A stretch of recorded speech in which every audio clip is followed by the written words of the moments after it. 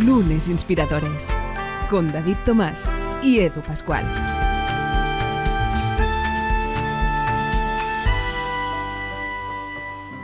¿Qué tal? Bienvenidas, bienvenidos. Esto es Lunes Inspiradores, de nuevo hoy en un eh, capítulo donde tendremos ocasión de inspirarnos también, de hablar de aquellos profesionales inquietos que saben y que deben y que conocen todo lo que puede llegar así esos círculos profesionales en los eh, que se mueven para profesional inquieto. Ah, la verdad es que tenemos un muy buen ejemplo aquí cada lunes, como es David Tomás. ¿Cómo estás, David? Bienvenido. Muy bien. Como siempre, contento. Oye, sabes que este es un buen momento de la semana, ¿no? Cuando estamos en lunes inspiradores.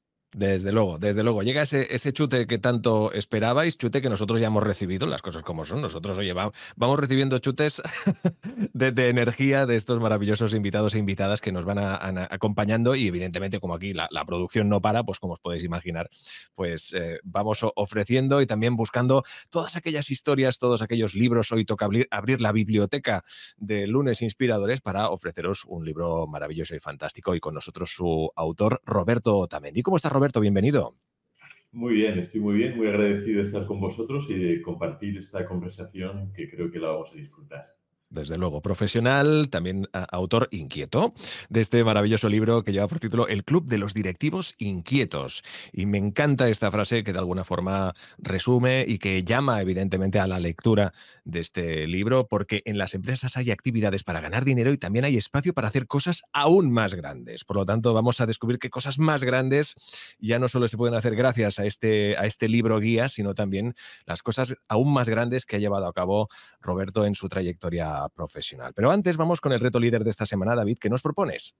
Mira, el reto, vamos a coger una frase, yo creo que, o un dicho lo, habéis escuchado muchas veces, esto viene de, de, China, dice, el mejor momento para plantar un árbol fue hace 20 años, el segundo mejor momento es ahora. Así que esta semana se trata de pensar qué nos gustaría que nos pasara de aquí 20 años, pero que tenemos que empezar a hacer ahora, ¿no? No, no nos esperemos 20 años porque no lo vamos a tener. Empecemos hoy y de aquí 20 años tendremos ese árbol. También dicen, ¿verdad?, que plantar un árbol es de las cosas más generosas que puedes hacer, ¿no? Porque lo estás plantando no para ti, sino para la siguiente generación, que es quien lo va a disfrutar. Desde luego, desde luego. Hay, hay espacios, hay muchas eh, fotografías que circulan por internet de pues, eh, calles, eh, pasajes, avenidas de, calles del mundo, de ciudades del mundo, ¿no? que se ven como hace años eran verdes y ahora son grises. Es una pena porque evidentemente pues, todo esto contribuye a la situación en la que estamos, ¿no? esta situación un poquito límite que nos vemos casi obligados a, vivir a nivel medioambiental en este, en este mundo tan maravilloso que, que tenemos y que conviene cuidar. Nos quedamos con este reto líder de David Tomás, ya sabéis que lo podéis compartir en redes sociales, también comentarlo en sus redes sociales, que él encantado no lo siguiente, de contestaros y de compartir todo aquello que le queráis eh, compartir. Ahora sí, Roberto, ¿cómo son tus lunes inspiradores? Eh, entiendo que inquietos o no. Bueno, sí, habitualmente sí y sobre todo son distintos, es decir, habitualmente tengo lunes distinto cada semana o quiero decir que no son rutinarios, sino porque un lunes me puede pillar viajando, o de viaje en otra ciudad, o me puedo pillar en la oficina, como puede ser ahora el caso. Y otras veces me pilla en la montaña, porque estiro un poquito el fin de semana, que a mí me encanta la montaña, y así pues con menos gente lo disfruto más. Oye, pues fantástico. Queda dicho, esos son eh, los lunes de nuestro invitado, pero esos lunes eh, han pasado muchos lunes en la trayectoria de nuestro invitado, eh, David. ¿Por dónde, ¿Por dónde empezamos a descubrir su historia? Venga, vamos a hablar de tu trayectoria. Antes me gustaría decirte que a mí cuando ya vi el libro y que me ha enganchado, ¿no? Aún no he podido acabarlo, me queda poquito, pero bueno, estoy, estoy enganchadísimo. El título me encantó porque ya, hablando de una anécdota personal, ¿eh? pero yo hace como, como 20 años tengo un grupo de amigos, todos del, sector digital, del sector profesional, que nos llamamos el club, nos llamamos inquietos. O sea, el, grupo se llama Los Inquietos porque un poco viene un poco de, de ese momento del boom de las .com en que te despertabas a las 2 de la mañana inquieto de, oye, hay, esta oportunidad, estoy viendo esta tecnología, así que me, ha hecho mucha gracia el libro. Ahora nos contarás el, título, pero empezamos, siempre nos gusta conocer pues el tipo de educación que recibiste, cómo eras de joven, es decir, qué, qué pensabas, qué ideas tenías y si en algún momento te imaginaste que estarías donde estás. Vale, sí, la verdad que No me lo imaginaba, no me lo imaginaba. Mi, mi, imaginación no alcanzaba tanto, creo. Sí, la educación que recibí, pues fue una educación sencilla y profunda, muy arraigada en los valores y valores y en la tierra también. ¿no? Yo provengo de una familia que mis padres son de un, pueblo, de un pueblito pequeño, trabajaban en el campo y entonces esa parte yo creo que, que ha causado también en mí pues un gran pozo de esta parte de la cultura del trabajo, del esfuerzo, de compartir, de la solidaridad y también una educación muy basada en el cariño y en el amor y que esto es lo más grande que pude aprender de mis padres, que es el amor incondicional. Entonces, bueno, pues luego ya la educación derivó, digamos, en un aspecto más profesional que me ha llevado a esta, a esta vida de directivo en el entorno empresarial, pero también con ese arraigo pues, a la naturaleza, al campo y a las montañas. Y tú estudiaste eh, empresariales, economía, ¿no? ¿Esto era vocacional? ¿Sabías tú desde joven, oye, es que a mí el mundo de la empresa es lo que me gusta? ¿O quizá era más porque, bueno, mira, es una, una carrera que tiene mucha salida profesional? Pues la verdad que fue vocacional. Sí, a mí el aspecto, digamos, de, de los negocios, de organizar cosas, y que además luego diera sus frutos, eh, me atraía. También me atraía la parte, bueno, de mandar, por decirlo así, que ahora es lo vivo de otra manera, ¿no? Pero porque siempre he sido organizador y yo soy muy de hacer planes con otros. Y también se me han dado muy, muy bien los números de modo habitual. Entonces, esta parte de, de la economía, la administración de empresas, yo, vamos, sin darme cuenta, me había encaminado a ella desde muy pronto, sí. Qué bueno. Cuando acabas la carrera, trabajas eh, primero en auditoría, ¿no? Estás en la parte financiera Cuéntanos un poco tu evolución profesional, ¿no? ¿Cómo fueron esos primeros años y qué aprendiste? Sí, esa es una anécdota curiosa porque cuando yo tenía la asignatura de auditoría en la universidad no me gustaba nada. Me parecía que era, bueno, pues, pues todo lo contrario a lo que a mí me gustaba. Y sin embargo, bueno, pues cuando acabé la universidad sí empecé a trabajar, en este caso en KPMG, una de las Big Four ahora, antes había unas poquitas más, y la verdad que me gustó mucho ese trabajo porque fue una escuela apasionante de conocer muchos sectores, muchas empresas, muchas personas. Entonces, esa diversidad de, aprendizaje que tuve, pues bueno, pues es lo que más me aportó, más allá del trabajo, digamos, habitual y ordinario de la labor del auditor, que me gustaba menos. Luego de ahí no sé si me ibas a preguntar. No, no, no, sigue, sigue, por favor. Sí, de ahí, bueno, pues al cabo de unos años dejé la auditoría, pasé al entorno financiero de una empresa industrial en el sector del automóvil, que también es otra maravillosa escuela, en este caso de gestión, es una gestión muy avanzada la del automóvil y también en el entorno pues, de un departamento financiero, ahí asumiendo responsabilidades ya y llegando a ser eh, director regional de la región del suroeste de Europa en el ámbito económico-financiero de un grupo multinacional alemán que teníamos aquí una sede importante en España. Y ahí también estuve unos cuantos años en este entorno financiero ya industrial, que me, me proporcionó un aprendizaje especialmente sólido en la parte de la gestión de los negocios, en los procesos que están vinculados a los negocios. Y el cambio, ¿no? Luego pasas a la industria farmacéutica y estás 18 años, ¿te costó? ¿Fue una decisión que la tenías clara? ¿Por qué hiciste ese cambio? Sí, mira, los cambios en realidad, los dos cambios que hice es primero dejar KPMG para pasar al automóvil, a SAS, que se llamaba así la empresa, y luego de SAS a CINFA. Ambos cambios tenían que ver con un desequilibrio vital porque veía que dedicaba demasiado tiempo al trabajo, más de lo que yo quería. ¿no? Y entonces era cambio de empresa pensando que iba a suponer un cambio más relevante, pero bueno, en el fondo tampoco fue tan así. Y eso sí sucedió cuando cambié a CINFA. Cambié a CINFA, empecé a trabajar en laboratorios CINFA en el año 2005, tenía entonces yo 32 años. Y ahí ya quería pues formar una familia, dedicándole tiempo, tener hijos, ya estaba casado. Y ese cambio sucedió especialmente por eso, para desvincularme de un entorno que era con una grandísima exigencia en tiempo, pero luego ya aprendí que eso no tenía que ver con la empresa, sino conmigo mismo, ¿no? Con, pues con cómo asumía yo mi labor profesional. Y entonces estos 18 años en CINFA, en la que he permanecido hasta hace relativamente poco, hasta hace cuatro o cinco meses, han sido fantásticos, un entorno donde también he aprendido muchísimo, donde he podido crecer profesionalmente, desarrollar funciones muy diversas, aprender también del entorno internacional, donde estoy dirigiendo negocios y sobre todo, pues trabajar con personas maravillosas que ahí siguen y con las que tengo una gran amistad.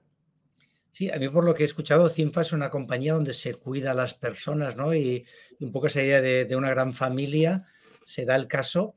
Me llama la atención, ¿no? Que el modelo que la mayoría de empresas siguen, ¿no? Es el contrario, ¿no? De, oye, pues eh, exigir lo, máximo, tensionar la cuerda y, y quizá el modelo que tú has vivido es distinto, ¿no?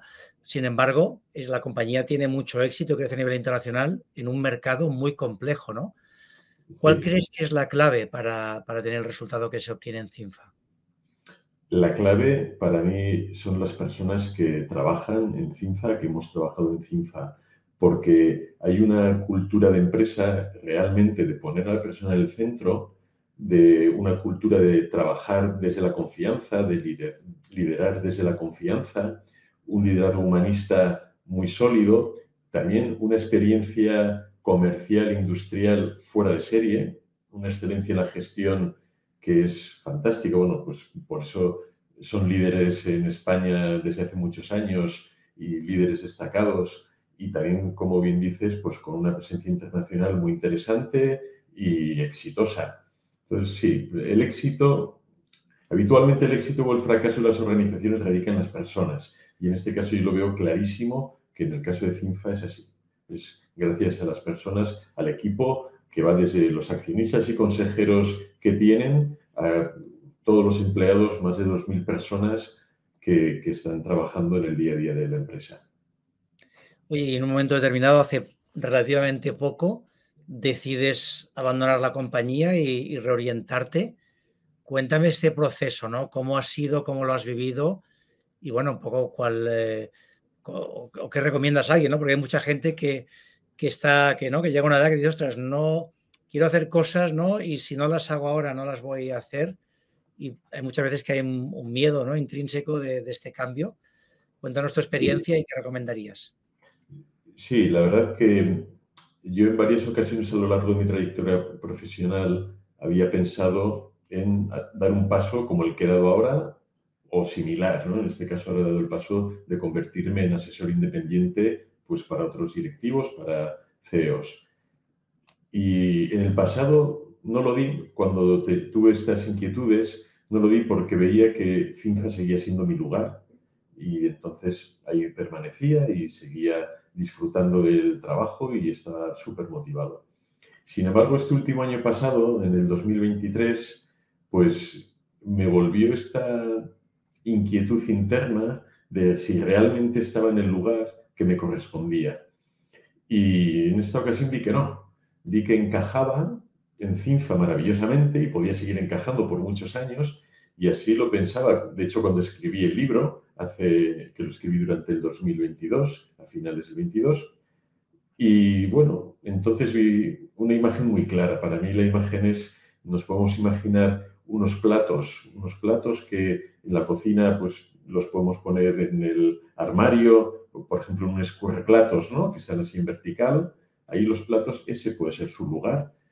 Sin embargo, los platos también encajan en otro lugar, que es una alcantarilla, una rejilla, una alcantarilla en forma de rejilla, también tiene ahí unos, unos huecos en los que puedes poner los platos en vertical. Pero ese no es el lugar de los platos. Los platos encajan, pero no es su lugar. Yo en mi caso vi que yo encajaba en CINFA y podía seguir encajando porque es un lugar maravilloso y mi actividad lo era igualmente. Y sin embargo, ya indagándome en mí mismo, vi que mi lugar estaba en otro lado, ayudando a otras personas, ayudando a otros directivos, en una labor que no podía hacer desde CINFA por, pues por incompatibilidad y por tanto ya decidí pues, dar este paso de ponerme a trabajar como asesor por mi cuenta, lo cual es un paso que estoy encantadísimo. Claro, pero fíjate, ¿no? Que tenías la opción, a ver, todavía eres muy joven, ¿no? Pero tenías la opción de mm, los, los 15 años o 18 años que me quedan laborales, sigo aquí y no me muevo, que es una opción que muchas personas toman. Y la otra, la opción más complicada es, bueno, me reinvento, me quedan eh, todavía muchos años de vida profesional y, y, empiezo de cero, que no es nada fácil, ¿no? Ahí no sé, también la situación familiar que igual te influye, ¿no? El tener ya quizá los hijos más, más mayores, tener la familia desarrollada, ¿no? Porque antes cuando una persona pues estaba 50 y pocos, 50 largos ya, a nivel profesional muchas veces se veía, bueno, pues ya tiene que estar pensando en la jubilación y yo creo que a día de hoy el chip ha cambiado, es decir, con 50 y algo es justo, tienes mucha energía, puedes hacer muchísimas cosas, ¿no? Y aportar mucho al mercado. Sí, efectivamente, pues es como lo estás escribiendo. Yo cumplí 50 años el verano pasado y entonces eh, justo estaba como en esta crisis de los 50, es decir, profesionalmente quiero seguir en CINFA, estoy, estaba en el máximo comité de dirección corporativo, en una posición además de absoluta confianza con el CEO, eh, muy, muy bien integrado en el, en el grupo, con mis compañeros, una actividad que entonces estaba como eh, director de desarrollo corporativo y sostenibilidad, implantando un nuevo área como la sostenibilidad, que es fantástica la función, pero efectivamente, decía, no puede ser que me acomode en una organización así cuando veo que mi lugar es otro, cuando veo que lo que a mí me mueve por dentro es otra cosa, ¿no? Y familiarmente, efectivamente, tengo tres hijos adolescentes entre 14 y 17 años que, bueno, ya tienen otro ritmo, ya no tienen tanta dependencia mía o de mi mujer. Y entonces, bueno, pues hablando con Susana, con mi mujer, lo que vimos era que lo que no me podía retener en, una, en el ámbito corporativo era el tema económico. Entonces, porque eso digamos que es contrario a mi forma de entender la vida. Entonces, ahí fue cuando dije, bueno, pues sí es una decisión valiente, pero es una decisión coherente y entonces voy a hacer todo lo posible para que a nivel de la economía familiar no tengamos ningún cambio. Y entonces pues, espero seguir teniendo éxito en esta nueva labor profesional que estoy acometiendo y efectivamente, es un cambio valiente, pero sobre todo para mí es como un cambio coherente. Lo contrario me hubiera ido minando en cuanto a motivación profesional, en cuanto a inquietud vital, que, como dices, con 50 años y toda la energía que tengo, pues no me veía no acometiendo este proyecto que realmente pues nace desde mis entrañas. Claro, ¿no? Y sobre todo también te hubiera pasado factura en tu salud, ¿no? Que seguramente en unos años que si empezarías con úlceras, que si y esto puede, puede, acabar, puede acabar muy mal. ¿Y cómo te preparaste? Es decir, ¿ha sido un proceso de años? O, dijiste un momento, oye, ya está bien, voy a intentar ejecutarlo rápido, ¿no? Porque, porque veo que este no es mi lugar.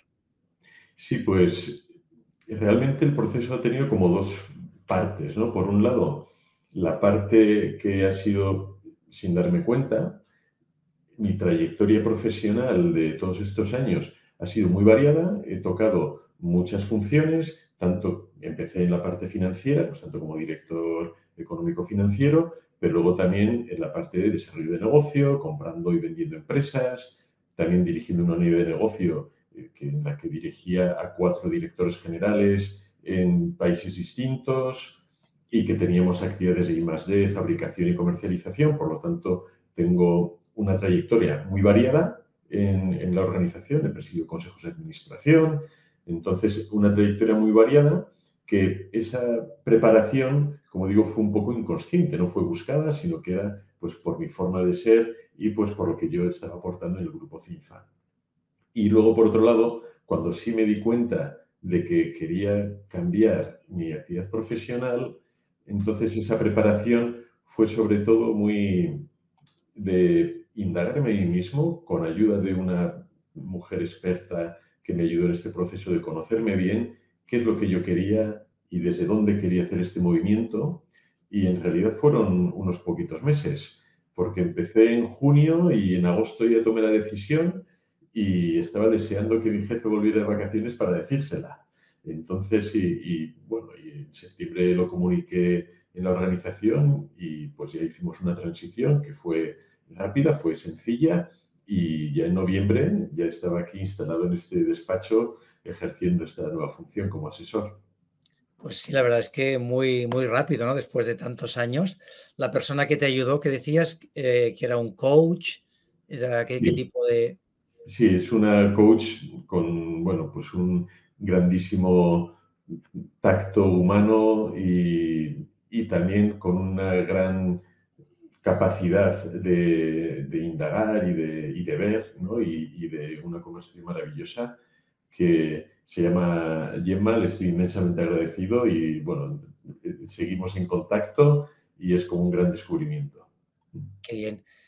Oye, hablamos ahora ya así de, ser directivos inquietos. Cuéntanos un poco la razón del libro y también esto, ¿no? De, dices, inquieto, marcianito verde. Cuéntanos esta idea.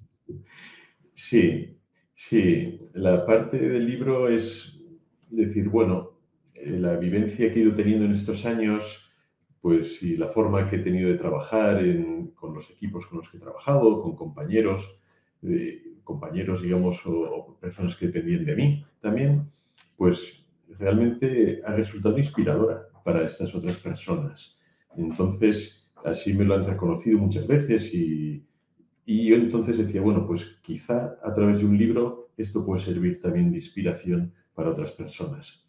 Y ese fue el motivo por el que escribí el libro, que esa en el fondo era como mi inquietud, mi, inquietud, mi compromiso, un compromiso de querer contribuir a que las empresas sean distintas, las empresas desarrollen más esta capacidad de trabajar por el bien común, de trabajar por un mundo mejor, que hay muchas que lo están haciendo de un modo clarísimo y en general las empresas tienen la capacidad de generar riqueza y de distribuirla, lo cual es fantástico porque lo necesitamos como sociedad. Entonces las empresas hacen una labor muy buena, creo que podemos impulsar que cada vez más empresas hagan esa manera, esa labor de mejor manera, siendo más conscientes y poniendo en práctica, bueno, pues lo que hoy también a nivel normativo se les exige desde Europa con los temas de sostenibilidad como ejemplo o también algo que es clarísimo en los últimos años, si cojo un poco una retrospectiva, hace 30 años en el mundo del automóvil se ponían en marcha políticas de calidad que parecían un poco, un poco burocráticas, un poco excesivas. Hoy en día estamos más que acostumbrados a, a esas políticas de calidad y eso ha hecho que la calidad de los productos mejore y suba un escalón. Después pasó lo mismo con la prevención de riesgos laborales la prevención de riesgos laborales también cuando llegó fue un poco un terremoto y sin embargo ahora ya es como, ¿cómo no vamos a tener una prevención de riesgos laborales mm, sobresaliente? Porque nos preocupan las personas, nos preocupamos de nosotros mismos y de nuestros semejantes. Pues lo mismo pasa con las empresas que quieren trabajar por el bien común, bien sea mm, regenerar el planeta en el que estamos y que nos estamos cargando, y también en contribuir en los contextos sociales en los que están trabajando, en los que operan las empresas. Con lo cual, el libro nació con esta idea, con esta inquietud de querer contribuir y en mi caso, a través de la posibilidad de conseguir inspirar a otros directivos, porque hay directivos que sí tienen esas inquietudes, que sí tienen este compromiso, pero se encuentran con dificultades para llevarlo a cabo en sus organizaciones. Y aquí entra la parte del marcianito verde, pues porque hay veces que te puedes encontrar con un contexto, con un entorno de tu empresa o de tu sector o de la región en la que vives en las que llevar a cabo este compromiso, esta inquietud desde una empresa, pues no está del todo bien visto, porque parece que esto es más pues, o para una ONG, o para una fundación, o para empresas de economía social, que se miran también con una mirada quizá un poco distinta como se ve a una multinacional. Entonces, yo lo que quiero impulsar es que otros directivos que sí tienen esas inquietudes y que trabajan en grandes multinacionales o en pymes, también puedan desarrollar, también puedan poner esta mejor versión de sí mismos en la empresa para que a través de su trabajo podamos todos pues seguir contribuyendo pues, a mejorar un poquito cada día este mundo en el que vivimos. Claro, sí, sí, la, mejora profesional y la mejora personal y al final del entorno, ¿no? Un poco este 360. Me has hecho pensar, yo doy clases, eh, doy una sesión en el, en el máster de Chief Happiness Officer de, UNIR y hay muchos marcianitos verdes porque hay gente que viene de la empresa y dice, oye, es que yo, eh, o viene de personas o viene de, un puesto, dice, de dirección, querría hacer esto, pero me encuentro muchas, me encuentro muchas barreras, ¿no? me encuentro mucha dificultad. Tú entiendes que igual que en medio, en su día, pues la calidad o los riesgos laborales, esto va a ser un tema de un poco mancha de aceite, ¿no? Que poco a poco se irá generalizando. ¿Crees que hay alguna forma de acelerar este proceso para que las empresas y los directivos, sobre todo, apostemos por una por poner a las personas en el centro? Sí, hay no es que sea especialmente optimista en cuanto a la aceleración del proceso, pero sí creo que la forma de acelerarlo es realmente pues ir haciendo un cambio de conciencia individual. Es que las personas vayamos haciéndonos más conscientes de que el individualismo nos lleva, pues casi nos, nos limita y nos reduce y sin embargo pensar en lo colectivo, en en lo común, en la comunidad, pues realmente es lo que nos mejora como sociedad. Entonces, ir dejando esta parte, digamos, del egoísmo, del individualismo y trascenderla, ir un poquito más hacia querer un poquito la mejora de lo colectivo, esto podría acelerarlo. No soy tampoco, como te digo, tan optimista como para pensar que esto lo, vamos a ver en unos pocos años, pero sí es cierto que las nuevas generaciones cada vez yo estoy viendo que sí tienen más estas, pues estas inquietudes, este compromiso y esta vivencia que espero que también a las personas más mayores, a los que ya superamos los 50, nos impulsen para realizar este cambio de conciencia. Oye, tú como directivo, ¿no? Claro, has llevado muchísimos equipos distintos. Cuéntanos un poco cómo era tu estilo de liderazgo y si nos puedes compartir algún fracaso que digas, bueno, esto no salió bien, pero le he podido dar la vuelta y qué es lo que he aprendido.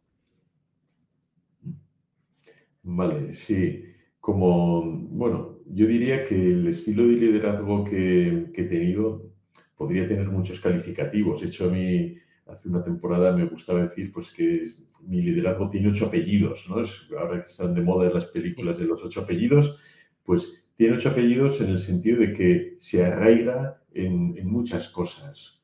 Pues como una puede ser el humanismo, puede ser la conciencia, también la transformación, un liderazgo transformador para ir cambiando las cosas y que no permanezcan igual, un liderazgo también inspiracional para poder inspirar a otros, y facilitar el desarrollo de esas personas para que vayan sacando la mejor versión de sí mismos, para que sean fieles a ellos mismos y que se conozcan en primer lugar también, en lugar de seguir una inercia. Entonces, para mí, el estilo de liderazgo era la manera de ir haciendo que la otra persona sea cada vez más autónoma, que desarrolle su función dentro de unos parámetros, digamos, estratégicos que marcan un camino, pero no marcan absolutamente cada paso que tiene que dar. Entonces es un liderazgo desde la confianza, es un liderazgo también riguroso y muy eficiente, pero es un liderazgo también que deja margen al error y obviamente al aprendizaje. Entonces, sí, como me, planteabas como el fracaso y como, sí, quizá una parte de fracaso es la, el no haber, cuando si tengo un caso claro que recuerdo, cuando este estilo de liderazgo mío no encajaba con la persona que en este caso yo pretendía que encajara, porque era una persona pues, que necesitaba un liderazgo pues, más milimétrico, más, digamos, más procedimentado, muy, no sé cómo decirlo, es como de un modelo... Más jerárquico, ¿no? Más jerárquico también. Sí, sí, pero muy centralizador, porque tampoco asumía decisiones propias, sino que preguntaba mucho, era la delegación hacia arriba de modo constante. Entonces, esta parte de fracaso, pero bueno, es como que a veces hay incompatibilidad entre las maneras de entender la función de, en el trabajo. ¿Y cómo lo gestionaste? ¿Qué, ¿Qué, hiciste? Aceptando que no nos entendíamos, aceptando que no nos entendíamos y que pues esta persona necesitaba otras cosas y pues que quizá no era la persona a la que mi estilo de liderazgo le podía influir y podía, lo que yo pensaba que era, le podía mejorar en su desempeño. Claro, es que esto es muy importante, ¿no? Es decir, al final cada uno tiene un estilo, nos podemos adaptar, pero es verdad que no todos encajamos en todos sitios, ¿no? Pasa igual la relación eh, cliente-proveedor, hay que encontrar dónde encajas, ¿no? Y ahí también cada persona tiene que ser responsable de decir, bueno, ¿dónde quiero estar, ¿no? Que no solo me lo digan, sino que yo también sea consciente de, hacia dónde quiero ir. Cuando trabajas con un directivo, generalmente, ¿cuál es el primer ejercicio que les haces hacer?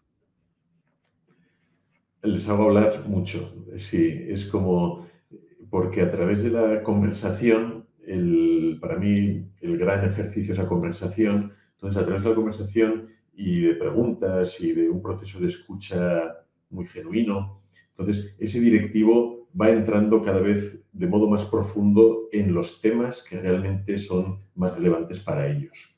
Entonces, una conversación larga para mí es la primera herramienta si te das cuenta, también hay ejercicios que, bueno, pues que si empiezas a, pensar, si te digo que pienses en 10 adjetivos sobre la naturaleza, cada vez vas a ir profundizando más, seguramente, en tu observación de esa naturaleza. Entonces, este ejercicio de conversación larga permite ir profundizando a la persona, al directivo, le permite también, de este modo, ir priorizando, ir siendo consciente de qué temas sí son más relevantes que quizá no son los primeros que le llegan a la mente, sino que están un poco en la retaguardia y por tanto, pues hace falta un poquito de ir limpiando, ¿no? ir quitando, ir despejando. Hoy en el libro hablas también de filosofía aplicada, en este caso liderazgo. Hay un capítulo que es emails a mí mismo. Cuéntanos esta idea. Sí, bueno, es una forma precisamente de hacerme visible a mí mismo y recordar y hacerme fácil recordar estos aprendizajes que he tenido. ¿no? Pues hay circunstancias en las que realmente, pues después de unas conversaciones o después de un trabajo o, después de tener alguna dificultad en, en la actividad, en la función, pues reflexiono, aprendo y para mí la escritura es un proceso muy claro de aterrizar ese aprendizaje.